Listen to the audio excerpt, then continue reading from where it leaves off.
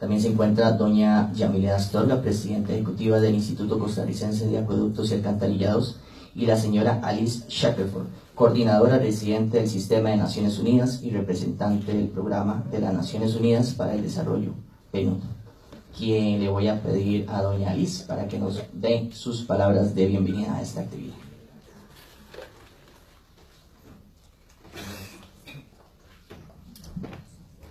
Bueno, buenos días a todas, a todos. Verdaderamente un placer de estar aquí con, con la presidenta ejecutiva de la IA, querida Yamila Astorga, con la querida también ministra eh, y presidenta ejecutiva de la, de la, del INAMO, del Instituto eh, Nacional eh, para las Mujeres. Es verdaderamente un placer de estar con la 12 y con todos y todas ustedes.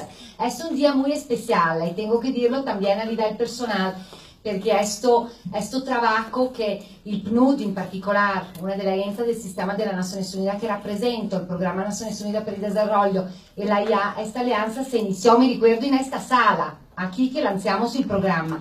E desde el inicio, con Yamilete estaba muy claro que queríamos fortalecer muy fuerte la integración igualdad de género en todo el trabajo de la IA, el trabajo de las salas y eh, el proyecto del PNUD en particular que está apoyando a este trabajo, este, se llama, tiene un, un, título largo, porque a nosotros siempre gustan los títulos muy largos, Fortalecimiento de las capacidades de asociaciones de acueductos rurales, las SADAS, para enfrentar el riesgo del cambio climático en comunidades con estrés hídrico en el norte de Costa Rica. Pero digo, pero eh, aquí mismo, cuando lanzamos el programa hace casi tres años, se habló exactamente de esto. Y ahora ver una realidad, ver que hay, que ahora la IA tiene y que se va a lanzar hoy una política de género es algo verdaderamente importante. Muestra cómo de la teoría que siempre nos hablamos, de los compromisos que se firman a nivel nacional, regional e internacional, se tiene que verdaderamente hacer un enfoque en la implementación y este es un muy, muy importante. Y la segunda razón por la cual también estoy muy contenta de estar aquí è perché esattamente la settimana passata con i colleghi del PNUD stavo in una gira nella zona nord, bueno, nella zona di Nicoya, e stavamo visitando varie salas con, la, con colegas de la IA misma e otro. Y eh, me, es, es, tengo que decir que es siempre un momento muy emocionante de ir, encontrar estas comunidades, encontrar los gestores de agua comunitaria, voluntarios y voluntarias, que hacen así tanto y mucho trabajo per verdaderamente hacer que Costa Rica sea verdaderamente un país solidario, ayudando comunidades cercanas que no tienen acceso al agua, ayudando entre sí mismo de tener un, un mejor mejoramiento y manejo del sistema hídrico y verdaderamente este compromiso de la, la gente, de las mujeres y hombres. Y en particular en una sala en San Vicente encontramos una presidenta mujer, por ejemplo, fantástica, muy activa, dinámica, y verdaderamente allá me hace pensar que verdaderamente hay mucho, mucho trabajo que está haciendo en Costa Rica a nivel de la comunidad que se está haciendo, que tenemos que reflexionar. Yo pienso que que esta política va a ayudar también para asegurar que más mujeres puedan fortalecer su posición al interno de este mecanismo a nivel comunitario y que todo esto pueda subir también al interno de la institución y fortalecer la, eh, verdaderamente una visión de igualdad de género. ¿Por qué? Porque al final, como lo sabemos muy bien, y no pienso que tenemos que eh, cuestionar esto, pero solo tomarlo e iniciar a implementarlo, per lograr il desarrollo sostenibile, l'igualdad de género es crítica. Y no hay desarrollo sostenible sin igualdad de género. Así es. Simple, pero también muy fuerte come mensaje, también muy importante. Eso significa per il desarrollo económico, il desarrollo ambiental, il desarrollo social de un país, la de género es crítica. Perché? Perché la desigualdades de género, come otras desigualdades también, es completamente ineficiente. E questa también al país, in termini di perdita lavorale, in termini di costo in, in salud, per la sopravviviente di violenza, in termini di mucho, mucho temas, veramente l'impatto economico è también fortissimo, non solo l'impatto social de empoderamiento, però economico. Entonces estamos aquí hoy celebrando también la Agenda 2030 y la Agenda de Desarrollo Sostenible, el Objetivo de Desarrollo Sostenible, que como ustedes ya lo conocen seguramente todos a memoria, los 17, eh, y número 5, que es sobre la igualdad de género, muy, muy importante, pero también hay el mensaje. El mensaje es que no es solo porque hay un objetivo de desarrollo sostenible específico en igualdad de género, que la igualdad de género es importante, pero la igualdad de género es crítica por todos los otros 16, 16 objetivos de desarrollo sostenible. No vamos a lograr la Agenda 2030 sin la igualdad de género. No vamos a lograr la Agenda 2030 sin que las desigualdades siguen permeando la institucionalidad, el trabajo y las comunidades en las cuales trabajamos. E infatti la agenda misma dice que la consecución de la igualdad entre los géneros y el empoderamiento de las mujeres y la niña contribuirá decisivamente al progreso respecto eh, de todos los objetivos y las metas. No es posible realizar todo el potencial humano y alcanzar el desarrollo sostenible si se sigue negando a la mitad de la humanidad pleno disfrute de sus derechos humanos y oportunidades. La incorporación sistemática de una perspectiva de género en la implementación de la agenda sostenible es crucial. Y qué más decirlo cuando hoy, cuando esta semana contamos el femicidio número 15 en Costa Rica. Una, un llamado muy fuerte, un otro llamado muy fuerte, per verdaderamente lograr y trabajar todos y todas conjuntamente para romper esta actitud, este comportamiento, esta cultura negativa y patriarcal que está llevando, llevando no solo la muerte de estas mujeres de manera criminal, pero también todo el impacto de esta muerte, de toda la, la violencia que hay. Entonces, Estamos aquí porque reconocemos y porque Costa Rica reconoce muy fuerte su compromiso con la Agenda 2030, con la Agenda de Desarrollo Sostenible, porque Costa Rica también construyendo por la Costa Rica del Bicentenario quiere ser un país donde este principio de la igualdad, de la no discriminación, se traduzcan verdaderamente a nivel institucional. Y esta política hace esto. Esta política identifica que hay desigualdades, identifica que hay una relación de poder que no es bilanciada, eh, eh, identifica que hay temas importantes que se tienen que abordar y cambios que se tienen que hacer a nivel institucional e identifica la manera también para hacerlo esto, esto a través de su ejes y, áreas específicas. Entonces hay una solución, hay una solución para cambiar este comportamiento, para cambiar esta cultura institucional y la política es parte de esto. Naturalmente la política necesita también un trabajo muy fuerte al interno de la institución, una apropiación muy fuerte da parte de los eh, trabajadores, las trabajadoras al interno de la institución misma y sabemos que con liderazgo de Yamileta esto va a ser posible, pero naturalmente el compromiso de cada uno y una de ustedes es crítico, porque el cambio necesita leyes, necesita políticas, necesita estrategia, pero necesita también pasión, compromiso y verdaderamente creer que el cambio es posible, que podemos construir una Costa Rica donde no vamos a tener más femicidios, donde las mujeres están empoderadas y las niñas, donde podemos disminuir en manera drástica el número de embarazos de niñas de adolescentes, donde podemos eliminar la cosa callejero y todos y todas las instituciones tienen un rol en este sentido y la ya con esto, con esta política está diciendo muy fuertemente nosotros y nosotras también tenemos un rol per construire esta Costa Rica del Bicentenario en línea con la Agenda 2030, donde nadie se queda atrás. Muchas gracias y felicitaciones por el trabajo.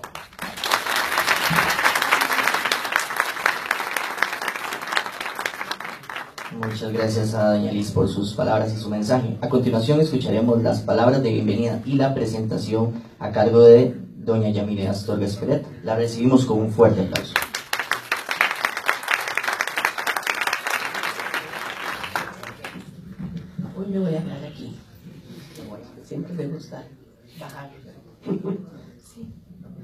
Bueno, buenos días eh, todos y todas, doña Alice. Eh, gracias y gracias por su palabra. Yo digo que ella siempre tiene una gran pasión. Eh, doña Patricia, de verdad un placer y un honor tenerla aquí en nuestra institución. a todos ustedes, de verdad, un caluroso eh, saludo y mis cariños. Y bueno, eh, otra política más que, que hoy lanzamos, que es una política muy significativa y creo que esto responde a una ratificación que había hecho nuestro país en el año 85 a la Convención sobre la eliminación de todas las formas de discriminación contra la mujer, en, lo que, en la que se estableció eh, una serie de compromisos eh, país eh, al determinar la protección jurídica de los derechos de las mujeres sobre una base de igualdad con los hombres y la de garantizar la protección efectiva de las mujeres contra todo acto de discriminación. Y yo creo que la institución necesitaba esta política de igualdad de género eh, que hoy eh, presentamos de una forma oficial, o sea, es un lanzamiento de esta política que por sí misma sintetiza los compromisos asumidos por el Estado costarricense en los diversos marcos normativos nacionales e internacionales y que impulsan el avance de las mujeres y dan cabida a los derechos humanos. Eh, deseo mencionarles que dos de, los elementos fundamentales de esta política eh, es, en primer lugar, el resultado de un proceso de crecimiento colectivo. O sea, esto no fue algo que se hizo, como dice, un escritorio de alguien, más todo lo contrario, se realizó con el apoyo eh, de las Naciones Unidas, como bien lo dijo doña Alice, bajo un programa y un proyecto que eh, construimos también de forma conjunta, que va direccionado hacia eh, los acueductos comunales. No obstante, desde ahí consideramos que esta política, que no solo queda a nivel de la institución, sino pues lógicamente es proyectada a todos nuestros sistemas delegados de asadas, eh, también eh, tenía un gran impacto ahí, en las asadas. Eh, y parte, bueno, inicialmente de un diagnóstico de las principales brechas de género que tiene la institución y fueron posteriormente evaluadas como una comisión interdisciplinaria en la que se trabajó en forma conjunta con la Dirección de, Igualdad y Equidad de Género y el equipo consultor, liderado por doña Rafaela, que aquí la tenemos presente, doña Rafaela Sánchez. También por la comisión eh, donde su exdirectora, doña Giselle Singh, también eh, fue parte de este, de este liderazgo, del proceso. Luego el producto al trabajo de esta comisión fue validado eh, por diversos grupos focales en todo el país, o sea, no solamente en nuestras oficinas aquí centrales, sino a nivel de, la, de las diferentes regiones, y constataron los cinco lineamientos que ahora yo se los voy a presentar. En segundo lugar, esta política es un instrumento que creo que es lo más importante. Eh, primero partió el diagnóstico, todo este proceso participativo y por supuesto, em, el, el, ¿para qué una política? Bueno, la política se genera como un instrumento, son un marco que, nos, que nos, nos da directrices, nos da principios, es un instrumento de intervención y planificación institucional que nos va a orientar las diferentes dependencias sobre los principios que nos debemos regir en nuestra actuación y en el tipo de acciones que debemos impulsar para generar estos cambios estructurales. Y digo estructurales porque eh, a veces lo vemos como algo pasajero, pero es algo que realmente debemos de incorporar, ese apropiarnos, como bien decía doña Alice. Eh, yo a veces digo, si volvemos a ver todas las fotos que tenemos aquí al lado, ¿verdad? Que nos exponen quienes han dirigido la institución, es una muestra clara de lo que ha sido nuestro país, lo que ha sido la mayoría de instituciones, realmente, y la institución haya ha sido una institución que en general, y ahora vamos a ver los números, ha sido eh, dirigido por eh, compañeros, para mí muy respetables, pero sí con muy pocas oportunidades a nosotras las mujeres. Eh, por supuesto que esto debe distribuir ¿verdad? oportunidades de integración social e institucionalizar valores eh, socialmente consensuados. Pero aún más importante, transversalizar el tema en todas las dependencias legalmente eh, asignadas en nuestra institución. La ejecución de esta política es una responsabilidad de todas las instancias de nuestra institución y nuestro principal reto pues va a constituir su implementación que tendrá a cargo la dirección, de, primero la comisión institucional y por supuesto la dirección de género, pero también la presidencia ejecutiva. O sea, desde la presidencia hemos promovido, fue así como acordamos cuando Añalis y vimos esto como una gran oportunidad, fue desde ahí donde contamos con el apoyo para poder realmente impulsar. Y doña Giselle, que también desde que yo entré siempre me hablaba de, tener esta política. Esta política. Eh, por supuesto, esta política, bien lo decía Añalis, responde a los objetivos de desarrollo sostenible, eh, que también es un compromiso país, que eh, es una meta que tenemos además que alcanzar y que esta política nos ayuda también como institución a responder a un avance pues significativo que como bien digo, bueno, una política puede estar escrita y, no más en papel, pero el cómo la incorporamos y el cómo realmente la hacemos una realidad dependerá de todos nosotros. Voy a pasar de una forma muy rápida la presentación de la política eh, ¿Usted me la dirige ahí? Pues lo tengo aquí. Ah, no, aquí está, perdón. Eh, nada más, así también de forma muy rápida, nosotros eh, desde la administración anterior hicimos una, una, serie de procesos de definición de políticas, como las políticas nos dan un marco que es importante que todos tengamos clarísimo en dónde estamos, hacia dónde vamos y qué nos marca, o sea, que, cuál es, y, y, y empezamos con una política de fortalecimiento de la gestión comunitaria del agua. Eh, bueno, aquí pusimos el, el, que fue un gran hito también en nuestro país, ya la puesta en funcionamiento de la planta de tratamiento de los tacos, que luego seguimos el curso que llamamos el, la ruta hacia el saneamiento, que fue la política de saneamiento de aguas residuales y el plan de inversión de esta política, que también es una brecha gigante que tiene el país en saneamiento avanzado, no saneamiento básico, la política nacional de agua potable, que interesantemente tenemos ley y esto, pero no había una política, y bueno, al 2018 que el país diga que tenemos un 93,4% de cobertura de agua potable, les digo, el país en desarrollo que tenga estas coberturas realmente eh, es admirable y así no lo ven el resto de países del mundo, que nos dicen cómo lo han hecho cómo lo han logrado. Y bueno, esto es parte también de esas políticas de salud que el país se comprometió desde los años 60. Y eh, una, esa ley que, que también logramos promover, que eh, realmente para cumplir con el derecho al acceso al agua, era importantísimo poder contar con una autorización legal, porque se nos estaban obstruyendo las, las, posibilidades de aprovechar agua en patrimonio natural del Estado. Pasamos. Eh, ay, perdón, sigo yo.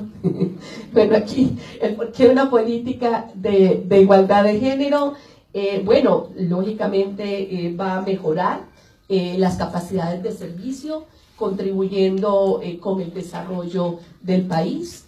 Eh, mejorar la convivencia respetuosa y solidaria, eh, propiciar, propiciará nuestras oportunidades tanto para eh, los trabajadores como para las, nuestras mujeres trabajadoras, mejorará la atención a las personas usuarias, visibilizará el trabajo de las mujeres en administración, operación, protección y uso racional del recurso hídrico, propiciará la participación de las mujeres en el trabajo estratégico y la toma de decisiones.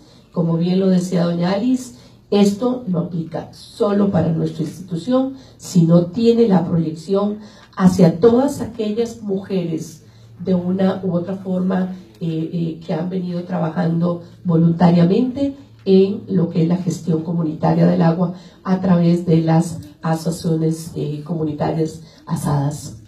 Tenemos, eh, tal vez acá importante ver los números, oh, perdón, aquí, me he adelantado bastante, en los números de nuestra institución, que esto fue parte del diagnóstico, vean que un 11% de nuestras mujeres las tenemos apenas en labores técnicas y operativas en la GAM y en direcciones regionales. Un 11%. O sea, es realmente es sumamente bajo. Eh, por ejemplo, en cuadrillas tenemos apenas dos mujeres y quien dice que no se puede, ¿verdad? Quien dice que no podemos tener mujeres en cuadrillas, seis mujeres en catastro, una mujer en planta eh, de aguas residuales en toda la historia de nuestra institución. O sea, realmente, eh, bueno, es una institución, pero también yo digo, cuando uno ve la carrera de ingeniería civil, porque tenemos muchos ingenieros civiles acá, tradicionalmente ha sido una carrera más de hombres. Entonces también eso ha sido como un reflejo. Pero bueno, estamos cambiando la historia. Eh, tenemos 33% en puestos de jefatura, 29% de mujeres con acceso a becas, o sea que realmente ha sido mucho menos, esto desde el 2013 al 2017, es bastante poco, ¿verdad? Bastante poco. O sea, mujeres, por favor, compañeras, anímense. Tenemos que capacitarnos más y, soliciten, eh, ¿verdad? posibilidades de participación, cursos en seminarios eh, o incluso en posgrados. Y 50% percibe que no hay un ambiente de igualdad y equidad. O sea, esto también es un tema que alarma. O sea, realmente sí nos falta mucho por trabajar. Eh, las mujeres enlazadas en las juntas directivas son 2.087 mujeres y 4.163 hombres en las juntas directivas. De igual manera, vean que estamos aquí como la mitad eh, son mujeres. Y en las presidencias de las juntas directivas de las asadas solo 149 son mujeres y 841 hombres. Algunas de las barreras em, identificadas eh, pues son los estereotipos, ¿verdad? Los hombres tienen más capacidad de trabajo eh, en el campo, o sea, se ha considerado que los hombres son más fuertes eh, y entonces las mujeres nos limitamos. Interesante también es que en las asadas hay mucha mujer que han llevado cursos y están llevando cursos, por ejemplo, de fontanería. O sea, que se animan ya a ser fontaneras también. Las barreras culturales, que también esto dificulta el acceso de las mujeres a sus puestos, acoso sexual y hostigamiento laboral. Lógicamente hay un lenguaje sexista, con chistes, con comentarios, con gestos, y les comento, hemos recibido en la presidencia casos de acoso que todavía el día de hoy se dan, ¿verdad? Y eso es muy importante, yo digo, decirlo y atenderlo y ver cómo lo eliminamos definitivamente de, la institución. Eh, también se perciben formas de interactuar agresivas y la temática de género es poco conocida, o sea, ha sido como, un tabú también aquí en la, en la institución algunos de los eh, desafíos, disminuir esta brecha en los puestos de poder, ya que aquí yo digo especialmente ingeniería, porque se da, o sea, no es que lo estamos inventando, esto sale de un diagnóstico. Las oportunidades de capacitación, que les decía, hay que buscar esas oportunidades de fortalecer y de eh, eh, aumentar nuestras capacidades. Los incentivos para carrera profesional y experiencia laboral, estrategias para conciliar, lo que es la vida laboral con la familiar y el profundizar seguimiento y atención de casos de hostigamiento eh, sexual. Em, los logros identificados. Eh, bueno, en la década del 90 se incorporan más mujeres en áreas administrativas y de finanzas. En el 94 se se nombra la primera mujer presidenta en la institución. En el 98 se crea la, la Oficina de la Mujer eh, con una directriz del, del, INAMO. En el 2000 se denomina Unidad Igualdad eh, y Equidad de Género Transversalizar su acción en toda la institución. En el 2007 se eleva el perfil de la dependencia a dirección, fortaleciendo su labor estratégica. En el 2016 se incorpora el tema de género en el plan estratégico. O sea, en nuestro plan estratégico tenemos eh, ejes, objetivos, eh, acciones, metas, hasta indicadores. Que esto fue también por primera vez en nuestro plan estratégico en el 2016 y en el 2018 pues la aprobación de esta política institucional, institucional de género. Eh, algunos de los de los eh, es que perdón se me pasa de los principios orientadores demasiado sensible eh, es el acceso universal al agua para consumo humano. Recordemos que lo tenemos como un derecho humano eh, el acceso al agua potable y el saneamiento, la promoción de la equidad y la igualdad entre mujeres y hombres, el respeto a los derechos humanos, la diversidad y la dignidad humana, la promoción de la participación activa de la población en la toma de decisiones sobre el agua, la gestión integrada del recurso hídrico, la visión de largo plazo orientada a resultados mayores de productividad, competitividad y sostenibilidad, y el balance y armonía entre las necesidades humanas y los ecosistemas para enfrentar los efectos del cambio climático. Vea que aquí muy interesante, una política, ¿verdad?, de, igualdad de género, incorporamos eh, todo lo que tiene que ver con la gestión del recurso hídrico, porque además eh, es transversal, o sea, hay que transversalizar nuestra gestión exactamente a lo que es la equidad de género.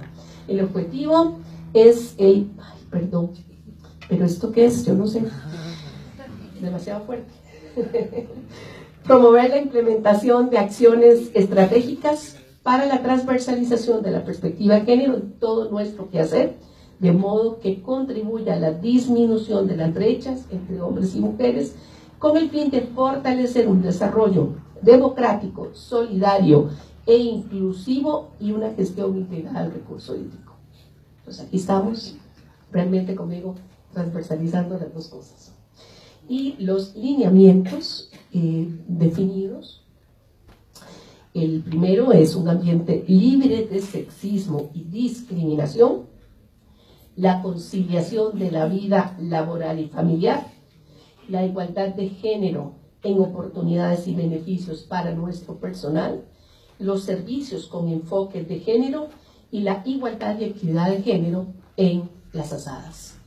Eh, con esto eh, termino la presentación. Eh, si no se les entregó en duro, la pueden encontrar en nuestro sitio web para no imprimir y no tener mucho gasto de papel.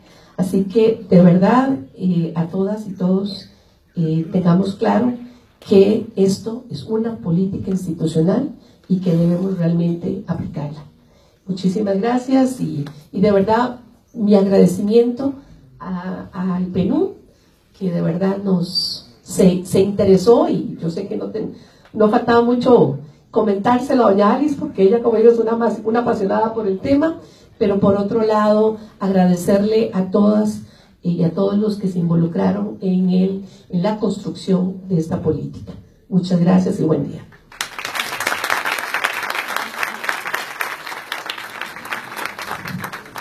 Muchas gracias a doña Yamilet. Seguidamente vamos a realizar un reconocimiento público a algunas mujeres precursoras en AIA. Eh, sabemos que hay muchas mujeres que han dejado su huella, pero en esta ocasión vamos a llamar y voy a invitar a las personas de la mesa principal a que pasen acá adelante. Vamos a llamar a Giselle Sin. Ella fue ex directora de la Dirección precisamente de Igualdad, Equidad y Género. Y también vamos a llamar a doña Azucena Urbina. Ella es la subdirectora del Laboratorio Nacional de Aguas. La recibimos con un fuerte aplauso.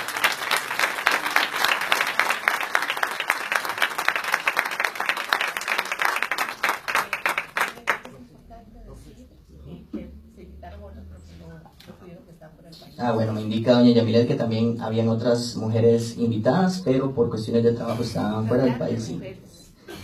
Eh, el reconocimiento para doña Giselle va a su gran trayectoria y gestión en el desarrollo de igualdad de género en Haya 26 de septiembre del 2018.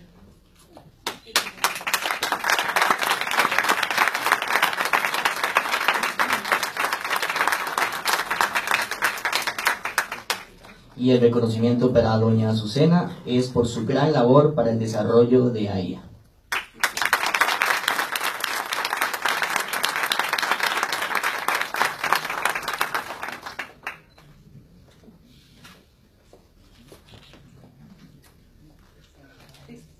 Listo, perfecto.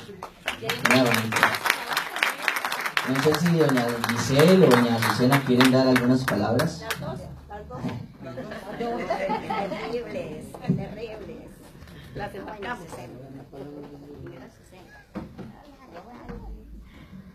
Buenos días, doña Alice, doña Yamilet y doña Patricia. Para mí es un honor que me hayan tomado en cuenta en este acto y me hayan dado este reconocimiento.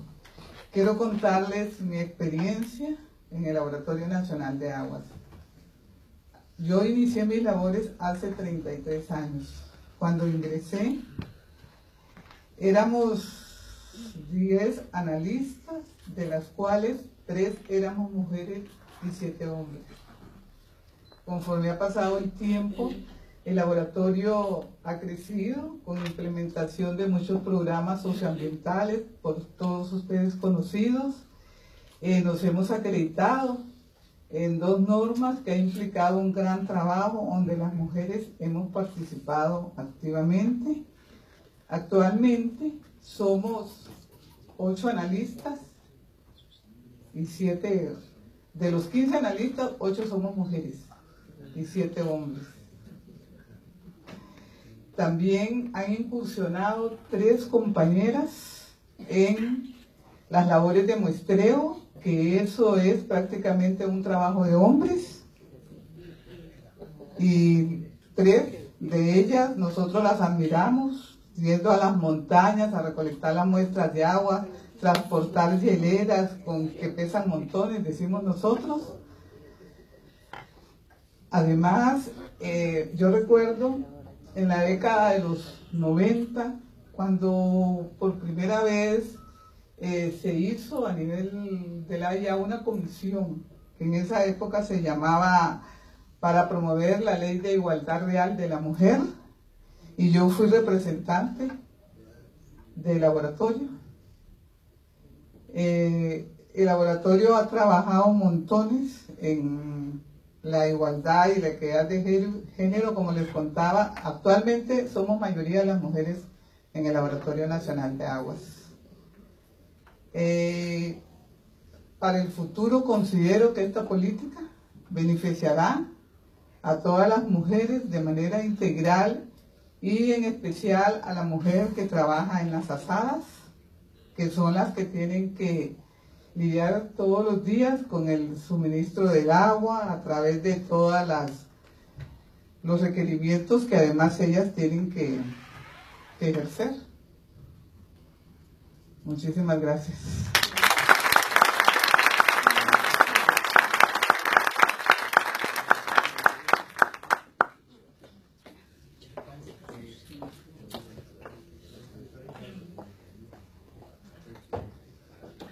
Muy buenos días, doña Yamilet, doña Patricia, doña Alice, a los compañeros del AIA, aunque que ya me jubilé, pero sigue siendo compañeros en mi corazón, invitados especiales.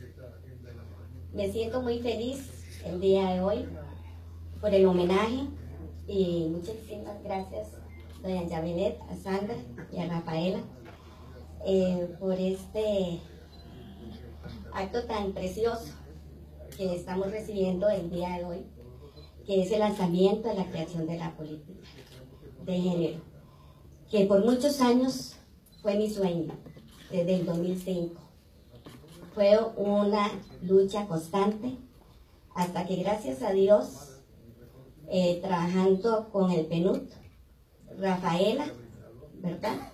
Y doña Alice, don Gerardo Quiroz, nos apoyaron para que esto fuera una realidad. Eh, creo que hablar mucho de la política, ya doña Yamile lo expresó, eh, en mi ardua labor en el AIA, en la Dirección de Igualdad y Equidad de Género, porque fue muy arduo el tema sobre la equidad y la equidad de género. Pero gracias a Dios creo que logré muchos avances. Logré concretar proyectos de gran índole. Y yo espero en Dios que la persona que llegue a sustituirme en la dirección de igualdad y equidad de género siga adelante con los proyectos que todavía están por terminar y que sigan adelante luchando por la posición de la mujer igualmente como la del hombre. Eh, para terminar, no quiero, traía un, un discurso, pero prácticamente ya fue, ya fue como eh, elaborado por, doña Yamilet. Eh, sí quiero agradecer grandemente a la maestra Yamilet Astorga, presidenta ejecutiva de la IA, a la licenciada Sandra Salazar, directora del despacho Presidencia Ejecutiva, que se hayan identificado mucho con la política y la comisión de género. A ella, muchísimas gracias, igual que doña Yamilet, en todo momento apoyaron la creación de la política. Al equipo consultor de Pupaden, a María Lizano, Tracy Rivera y Sara Castillo. Al licenciado Rodolfo Ramírez, de la Sugerencia de Sistemas Comunales y especialmente a la señora Bañales. Que no les digo el apellido porque me cuesta mucho pronunciarlo bien. Sí, ¿verdad, Sí, eh, bueno, como les decía, a Rafaela Sánchez, que también fue un eje importantísimo, un apoyo incondicional, su asesoramiento, su, siempre estuvo a la par de todos nosotros en esta construcción de la política y también que ellos creyeron en este proyecto y nos impulsaron a concretarlo. También doy gracias a la, al personal de la Dirección de Género, a Roxana Ordóñez, a Luis Guillermo y de último que tuvimos a Evelyn, eh, que hicieron posible, y, no, y a todos y a todos los que de alguna forma también hicieron posible la creación de esta política de igualdad de género 2018-2030. Sí les digo, compañeros, me siento muy emocionada. De verdad, lo vuelvo a repetir, que este sueño se ha hecho, se, se hizo realidad, ¿verdad? Y muchísimas gracias. Y como ya lo manifestaron, la política de género tiene que ser de todos. Y todos tienen que aplicar esta política. Y muchísimas gracias y que Dios los bendiga.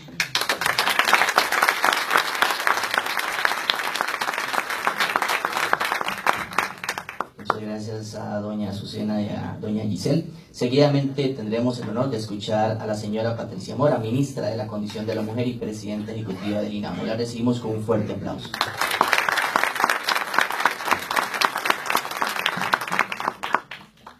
Muy buenos días a todas y a todos.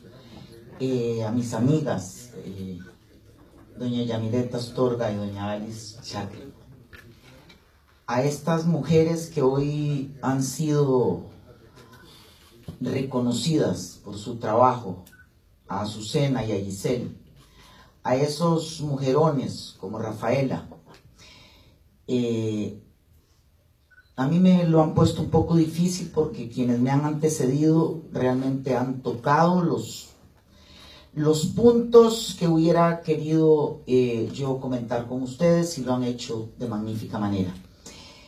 Eh, cómo no reflexionar sobre lo simbólico que es venir a la institución nuestra de la que somos absolutamente orgullosas y orgullosos.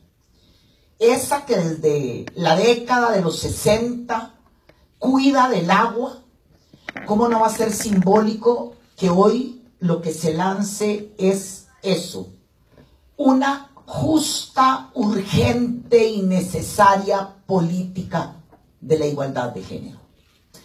Las mujeres tenemos la responsabilidad y normalmente en solitario de las labores de cuidado.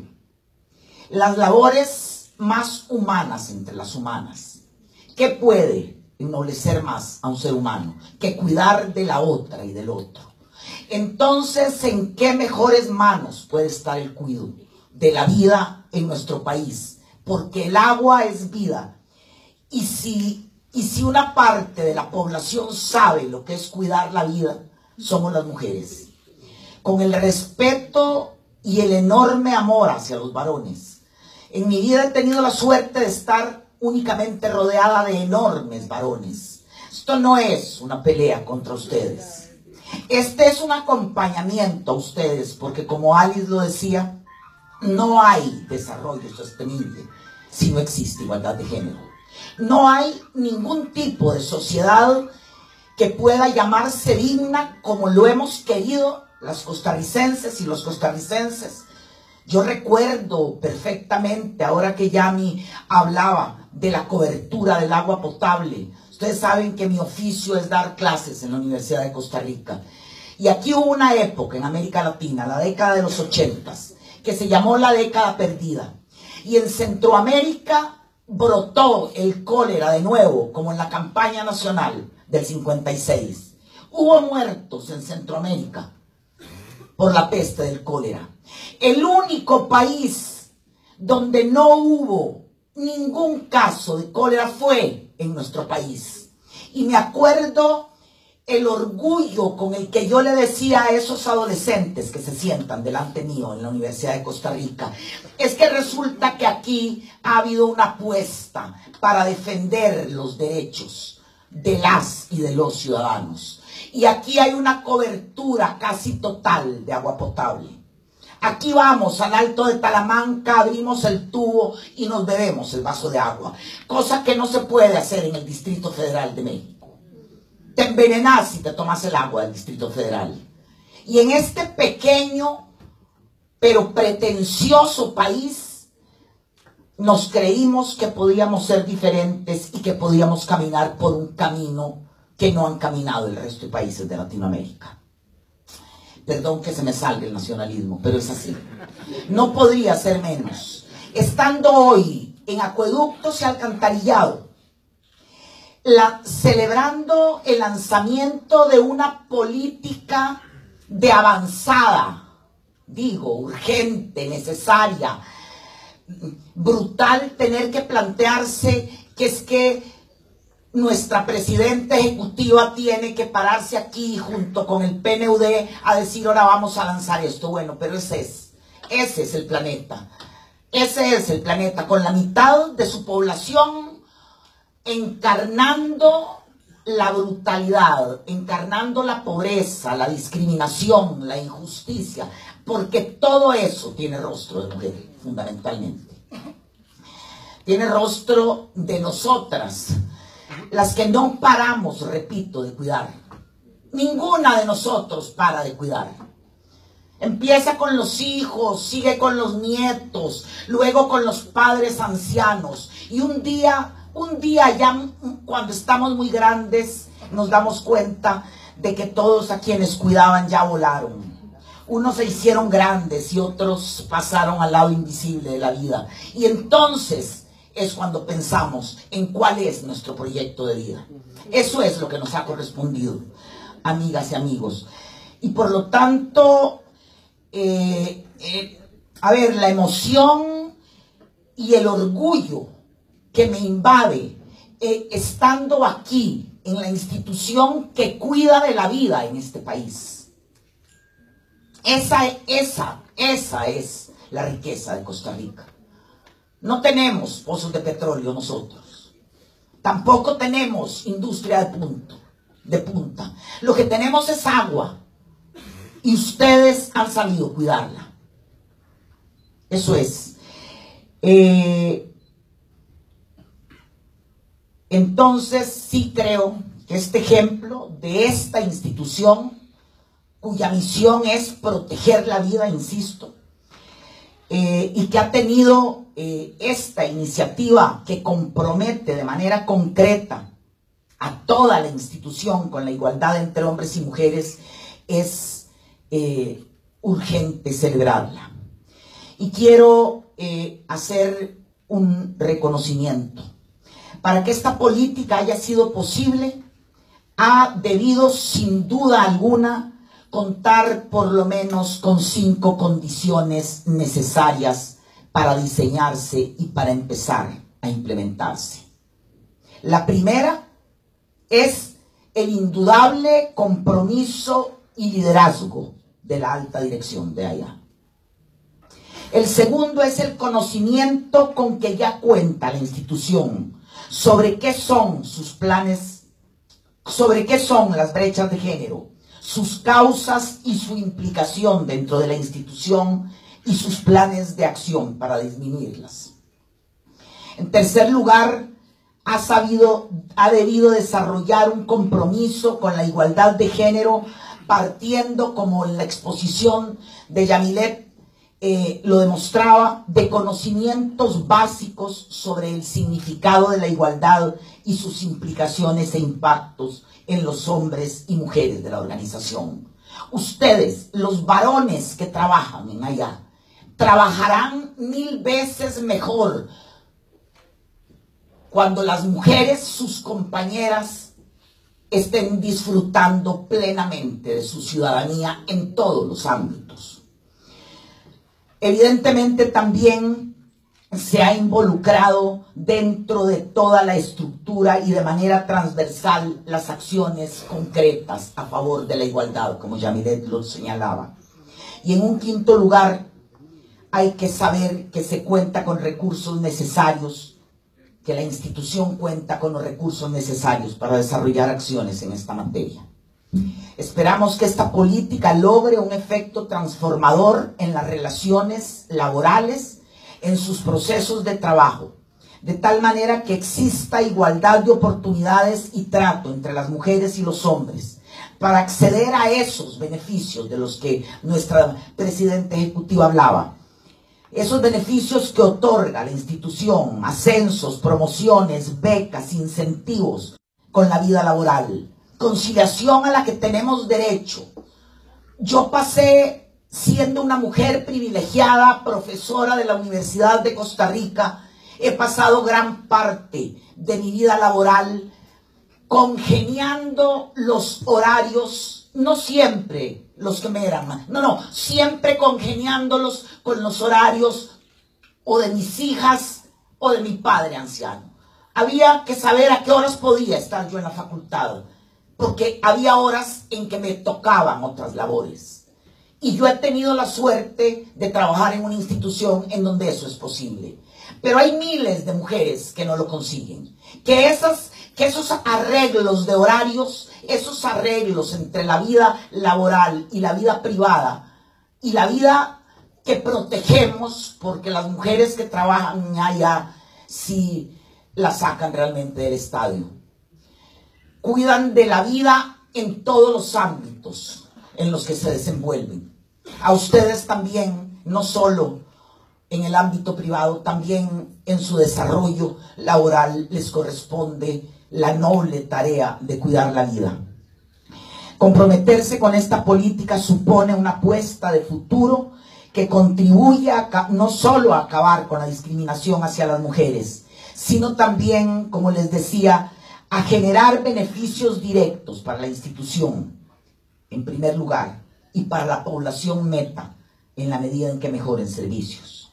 Invitamos a esta apreciada institución a incorporarse, doña Yamilet, en el programa que se desarrolla entre el INAMO y el PNUD, denominado Sello de Igualdad de Género, con el fin de poder acompañar los procesos de igualdad que, que ya venían en marcha.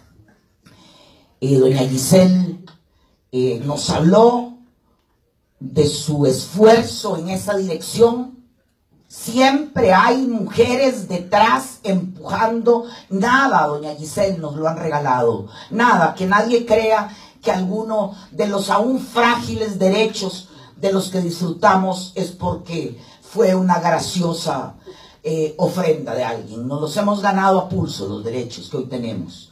Y por lo tanto, eh, debemos de comprometernos en su fortalecimiento y en su respeto. Y yo estoy hoy muy complacida de conocer el compromiso que hoy se plasma en el lanzamiento de esta política. Muchísimas gracias y muy buenos días.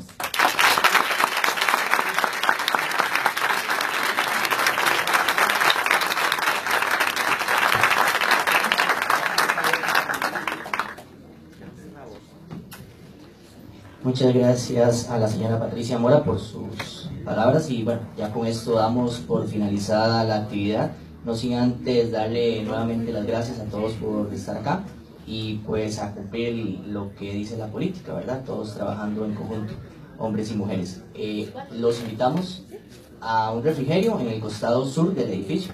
Que todos tengan un muy buen día.